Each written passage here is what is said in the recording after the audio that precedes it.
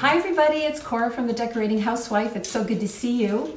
Merry Christmas and Happy New Year to you all. I hope you all had a great holiday. And now that the holiday is over and we're starting to think about, you know, cleaning up, what do you do with your Christmas lights or your mini Christmas lights? Do you just throw them in a bag and kind of deal with it next year?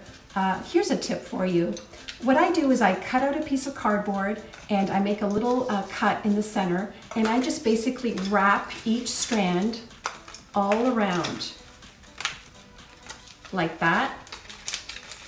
And I store them like this, each and every strand, so that next year I'm not so stressed out. So there's my tip for you today, and I hope everyone has a great day, and I'll see you soon. Bye for now.